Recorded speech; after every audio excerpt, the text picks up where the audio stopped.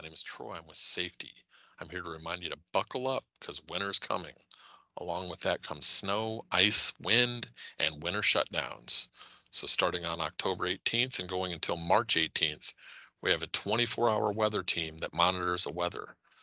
They will check where inclement weather is taking place and they take your input because you are the eyes and ears on the road. You can reach them at weatherteam at crst.com.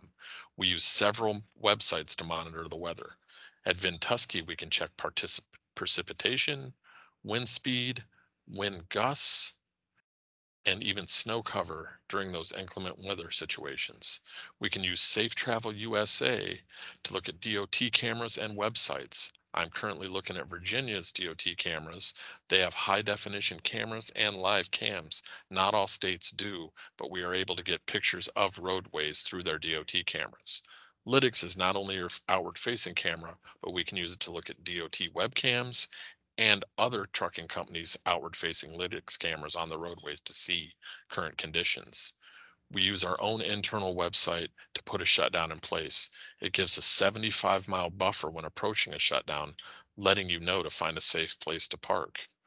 There are many different types of shutdowns. CRST can place a mandatory shutdown, or states can issue a road closure due to weather conditions or accidents on the roadway. If there is a state closure, we will not lift the shutdown until 45 minutes or an hour after the state lifts the closure. That allows the packed traffic to get out of the truck stops and rest areas ahead of you, helping you to avoid any potential pileups or just in case the road closure was lifted and the road conditions are still dangerous. We will send out advisories giving warnings potential winter weather events that could occur. These are advisories and not shutdowns. We will also let you know of chain laws. If there is a chain law in effect, we will ask you to find a safe place to shut down until the chain law has been lifted. So where can you park? You can park in truck stops, rest areas, and safe parking lots that allow truck parking. Please use a macro 18 when you are safely shut down. Never park on the side of the road, on an exit ramp, or the entrance of a rest area or truck stop. If there is a mandatory shutdown, it is mandatory. Doesn't matter if you're an independent contractor, a company driver, have a dedicated lane, running a high value load, or have a time sensitive load.